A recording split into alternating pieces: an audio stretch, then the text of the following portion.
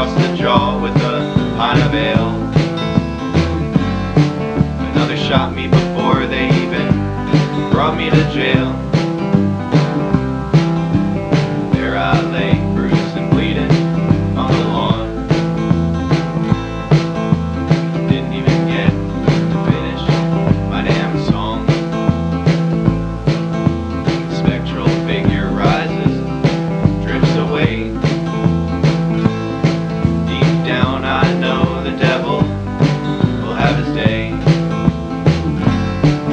not today or tomorrow, but that's all I'll say.